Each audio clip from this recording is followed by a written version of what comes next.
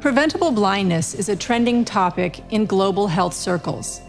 As populations live longer, more people will need corrective eye treatment than ever before. In India, 15 million people are blind, and 80% of those cases were preventable. Accessibility is a major factor as there are only 20,000 ophthalmologists for 1.3 billion people. When KC, a tech executive at a company in India, learned about the problem of preventable blindness, he decided to act. His decision has transformed an industry and helped save the eyesight of hundreds of thousands of people around the world. I've been a technical guy for 25 years. I worked pretty much in the semiconductor industry for the entire period of my life. The first time I really heard about the problem of preventable blindness, really felt overwhelmed, touched, had no background in ophthalmology, no background in medical devices, but we as technical people, um, I felt that it's important for us to contribute uh, to this cause because it was not only a problem respected to India, it is also across the world. I spent the next four years primarily looking at what are the real problems. I visited many hospitals, made interviews with a lot of doctors as well as patients. It took me five years to build up courage to start something on my own. We called our company Forus. It is for our community.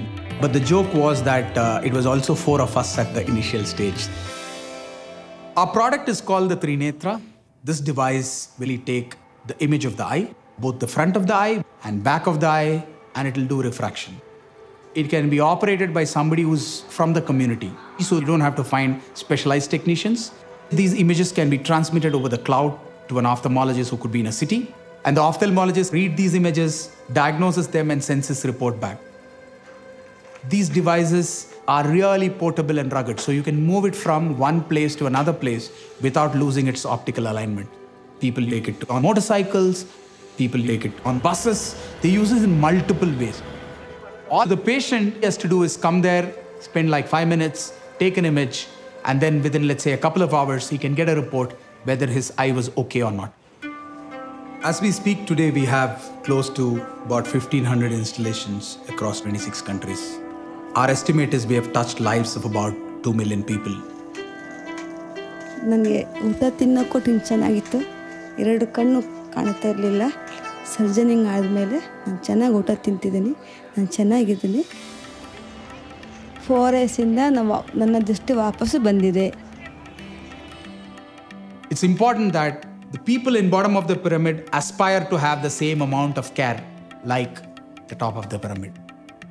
Whether it is the big hospitals in Mexico or the US using our product or the remotest of locations in the Amazon, we have not diluted the product or the product quality based on where it is used. So a person in Amazon gets the same imaging equipment as the person in New York. So that gives us phenomenal amount of happiness